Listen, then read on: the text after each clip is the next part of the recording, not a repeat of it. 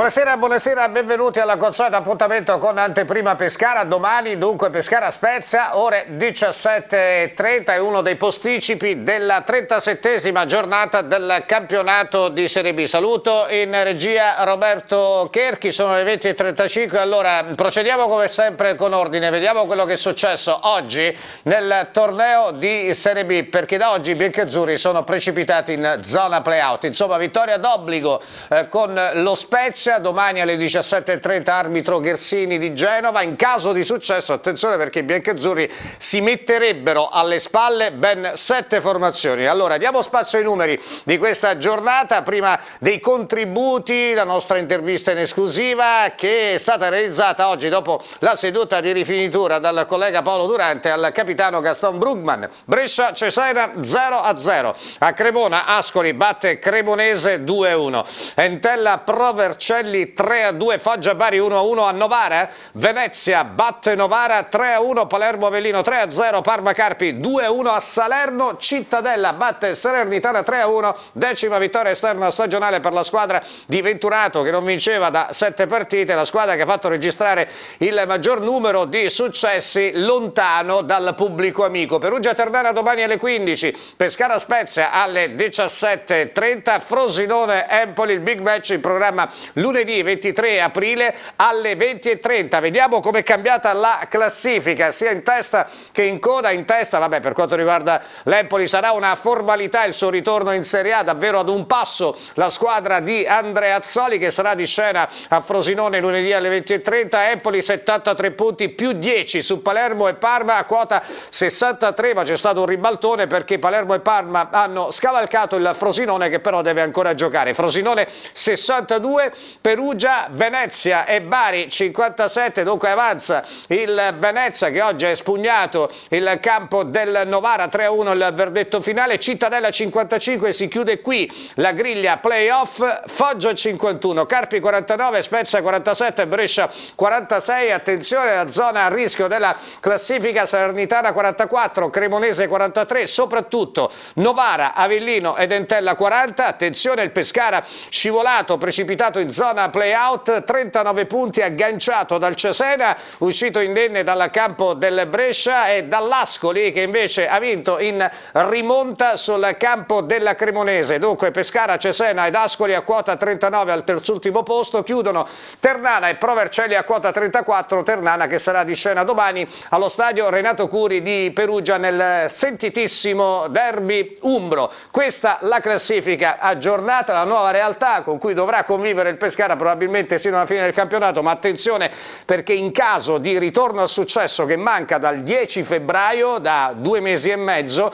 il Pescara si metterebbe alle spalle. Ben sette formazioni, insomma vittoria d'obbligo, sarà uno snodo a questo punto fondamentale, a partire di domani con i Liguri, lo Spezia che ha 47 punti, che sono distanziati ora dopo la vittoria del Cittadella Salerno di ben 8 lunghezze dalla zona play-off. Lo Spezia che ha fatto registrare una flessione nelle ultime partite, soltanto due punti negli ultimi tre incontri per la squadra di Fabio Gallo che è stato, ricordiamo ancora una volta, capitano del Treviso di Pillon che salì sorprendentemente in Serie A nella stagione, al termine della stagione 2004-2005. Il primo contributo, ascoltiamo il capitano Gaston Brugman alla vigilia di questa partita davvero molto importante. Paolo Durante.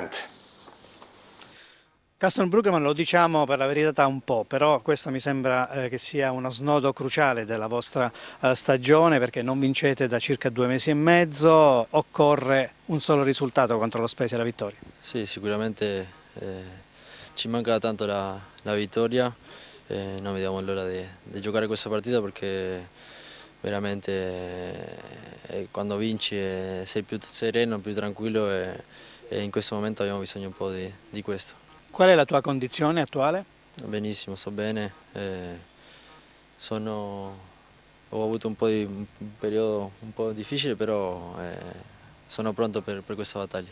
Contro lo Spezia è il momento davvero di tirar fuori qualcosa in più, forse anche qualcosa che non pensavate di avere. Sì, sicuramente. Eh, purtroppo la squadra è stata creata per, per fare un, un, altro campionato, ora ci ritroviamo eh, nelle parti basse della classifica, ma eh, dimostreremo che il valore che abbiamo e dimostreremo che abbiamo anche qualcosa in più. La vittoria tra l'altro vi serve come il pane perché eh, quantomeno vi consente di eh, presentarvi alla serie dei quattro scontri diretti che poi vi attende almeno con un punto di vantaggio. Sì, sì, sicuramente. Eh, diciamo che adesso dipendiamo da noi, quindi eh, affrontiamo tutte le partite come, come abbiamo fatto diciamo, le ultime, perché le ultime si hanno visto che nonostante non sono arrivati i risultati positivi eh, la squadra c'era e, e, la voglia si è dimostrato, quindi se scendiamo così e con un pizzico ancora di, di concentrazione sicuramente possiamo fare grandi cose.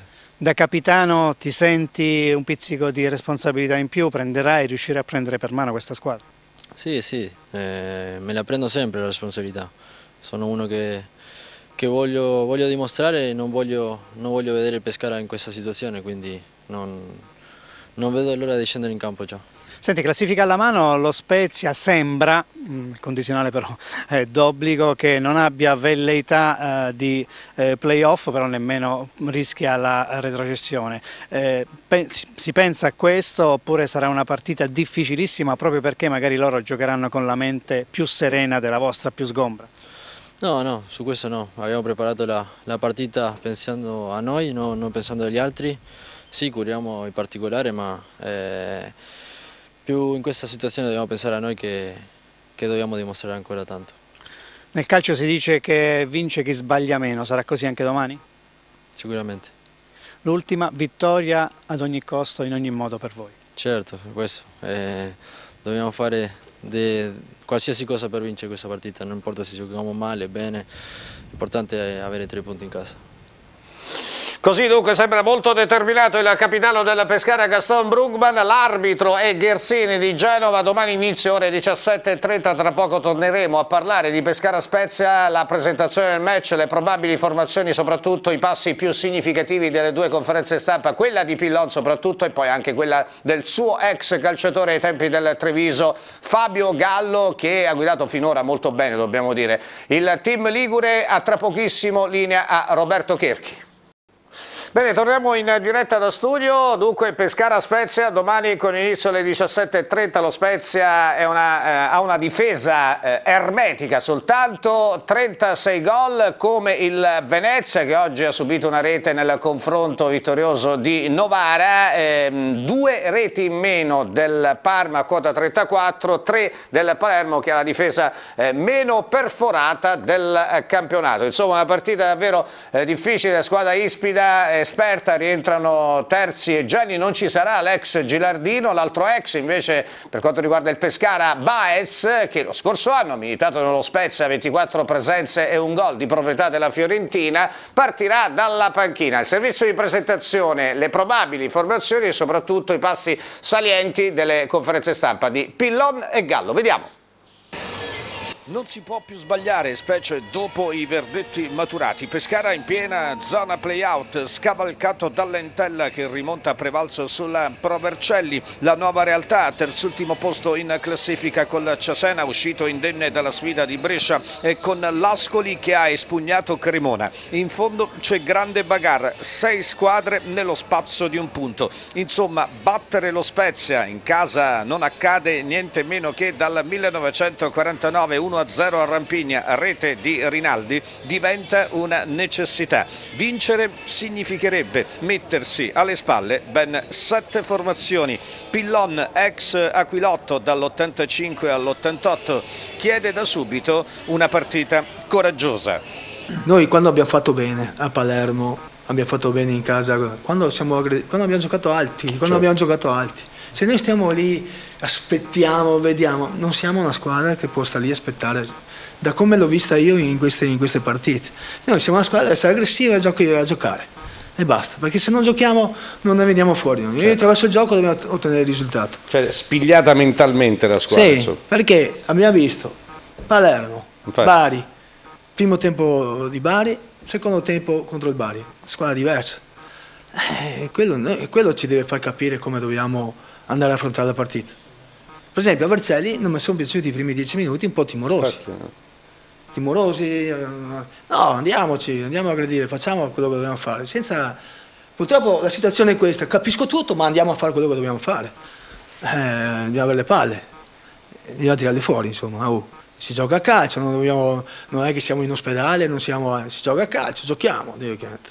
Passo a ritroso, inevitabile tornare alla sconfitta partita a Vercelli dopo una buona gara giocata praticamente dall'inizio in 10, espulso Crescenzi e rovinata nel finale dalla solita disattenzione difensiva.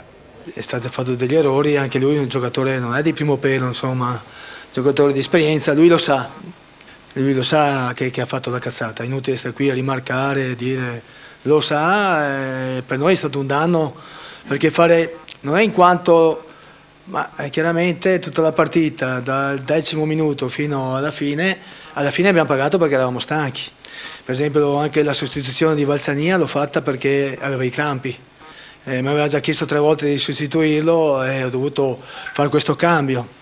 Eh, chiaramente nell'ultima parte, negli ultimi dieci minuti, la stanchezza ci ha fatto abbassare, mentre prima quando eravamo alti che giocavamo la palla come abbiamo fatto, perché fino all'83esimo nel momento del gol la gestione era stata buona. Nel momento in cui è uscito Valzania non sarebbe stato più utile un giocatore come Koulibaly, una scelta più conservativa rispetto a Carraro? Ho fatto una scelta basata su cui era più bravo a interdire il gioco, cioè a rompere il gioco, perché in quel momento lì c'era un po' di stanchezza e mi sembrava uno, un cane che, che andasse a mordere a mordere gli avversari e come caratteristiche Carraro era quello più appropriato a questa, a questa cosa. Poi col senno di poi... No, no, certo, no, ma infatti no, non è una polemica. No, no, no, no, ma è una giusta considerazione. No?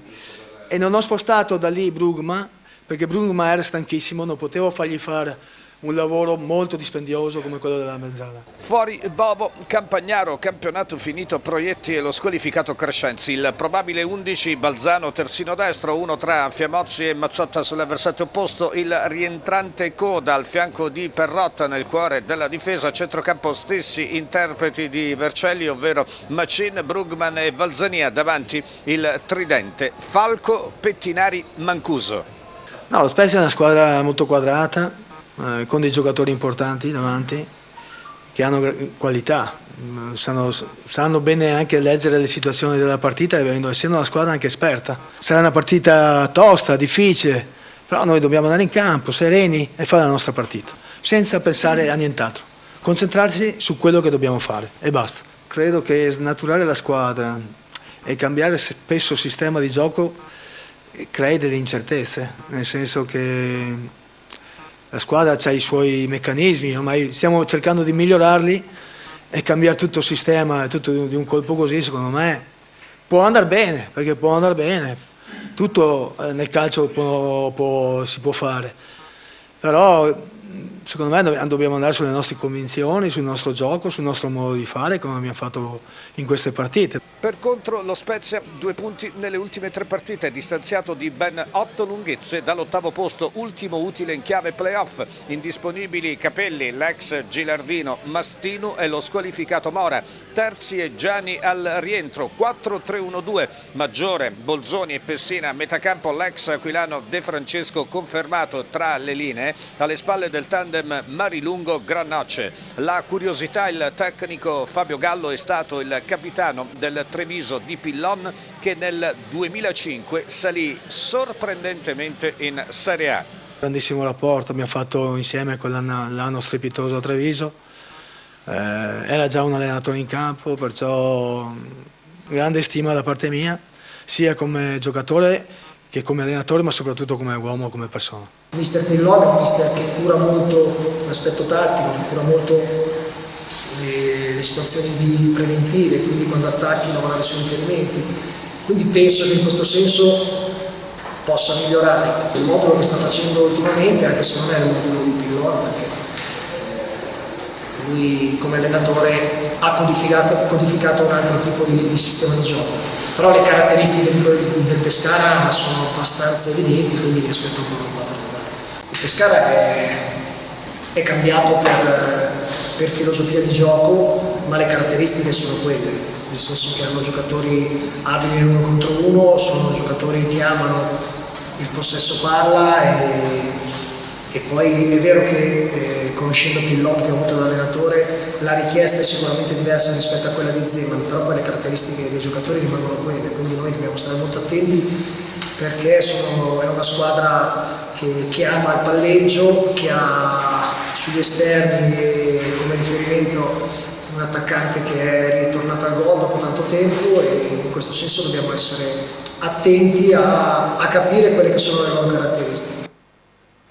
Così dunque Fabio Gallo, abbiamo ascoltato prima Pillon, abbiamo detto ex di questa partita, è stato un calciatore importante, Beppi Pillon, il tecnico di Preganziol dello Spezia, un triennio dal 1985 all'88 con un campionato vinto alla grande eh, di C2 nel 1986. Ci dobbiamo fermare per pochi istanti e poi la parte finale di anteprima eh, Pescara con le probabili formazioni in grafica. Linea a Roberto Cherchi. Bene, torniamo in diretta da studio, ultima parte di anteprima Pescara, sono le 20.57, una curiosità legata ai precedenti perché il Pescara non batte in casa lo Spezia, pensate, dal 1949 era il mese di aprile, gol di Rinaldi ma si giocò quella partita al Rampigna, quindi quattro confronti, due pareggi, altrettante sconfitte, la prima nel 2006-2007, 2-0 il verdetto finale, la seconda nel 2014-2015, 2-1 la all'Adriatico, doppietta dell'ex giocatore del Livorno Nawel eh, Valentini e poi due pareggi, 1-1 nel 2013, gol di Cutolo, il pareggio di Bovo che poi è diventato biancazzurro nel mercato di gennaio di quella eh, stagione e nel 2015-2016, eh, era la prima parte del 2015, novembre-dicembre 2015, 2-2 l'allenatore Massimo Oddo, do, due gol di vantaggio non bastarono a quel Pescara per portare a casa una vittoria importante, le reti di Forna Sier e di La Padula il pareggio proprio nel finale, il gol del 2-1 firmato da Catellani e poi al 93esimo il rigore contestato trasformato da Capitan Terzi che domani eh, tornerà dopo la squalifica. Allora possiamo vedere in grafica prima di salutarci le probabili formazioni, partiamo naturalmente dal Pescara che sarà privo di Bovo, Campagnaro, Proietti e dello squalificato eh, Crescenzi. Allora le novità, Balzano Bolzano dal primo minuto, terzino destro, il rientro di coda nel cuore della difesa, al suo fianco Perrotta, dunque panchina per Forna Sierra, probabilmente Fiamozzi sul versante opposto, potrebbe essere in questo caso preferito a Mazzotta, centrocampo in attacco stessi interpreti della partita di Vercelli, Brugman, Macin e Valzania a metà campo, davanti Falco, Pettinari e Mancuso, attenzione perché Capone insidia proprio la maglia a Mancuso. Vediamo invece lo Spezia, nello Spezia ci sono diversi diverse assenze, intanto l'ex eh, Gilardino ma poi anche Mastino e Capelli per infortunio, Mora causa eh, squalifica. 4-3-1-2 il sistema di gioco che sarà disegnato dal tecnico Fabio Gallo, Manfredini tre pali, De Col, eh, trascorsi nel Lanciano nella stagione 2013-2014 quando l'allenatore era Marco Baroni, Terzi che non ha bisogno di presentazioni rientra dopo la squalifica al pari di Gianni Terzi, un classe 84, ex Napoli eh, Bologna, Siena, Palermo, insomma giocatori di grande esperienza, Lopez uruguaiano che lo scorso anno ha vinto il campionato col Benevento come terzino sinistro naturalmente, a centrocampo Bolzoni, Maggiore che aprì le marcature nel match di andata, un classe 97 molto interessante, così come Pessina che è stato, eh, è stato cercato in vano nella sessione estiva proprio dal Pescara, dall'ex DS Peppino Pavone, un classe 97, era di proprietà del Milan, poi passato all'Atalanta, dunque di proprietà del club orobico insieme con Vida, Vido dal Milan all'Atalanta nell'ambito del passaggio di Conti dall'Atalanta al Milan, operazione fatta in estate. E poi De Francesco sarà confermato tra le linee, un giocatore eh, che ha militato nell'Aquila, un classe 94 davvero molto interessante, ha fatto ottime cose già all'Aquila in Serie C dal 2014 al 2016, 52 presenze, eh, cresciuto nella Lazio, acquistato arrivato quest'anno a gennaio dalla Regina, dunque da un club di Serie C, De Francesco che ha già giocato titolare nell'ultima partita persa dallo Spezia in casa con il Brescia e sarà confermato nella terra di nessuno, almeno sembra, eh, sembrano essere queste le, le indicazioni che sono state date in qualche modo nella conferenza stampa della vigilia da Fabio Gallo. E poi davanti Marilungo, un altro ex lanciano, stagione 2015-2016, 6 gol in maglia rossonera, al suo fianco Granoce, anche Granoce non ha bisogno davvero di presentazioni in classe 83 uruguaiano che ha sempre fatto gol, pochini in realtà quest'anno soltanto 6 centri per eh, El Diablo Granoce, classe ripetiamo 1983. Chiudiamo qui anteprima Pescara alle 21 in punto, grazie a Roberto Cherchi in regia, a voi per l'attenzione, ancora una buona serata.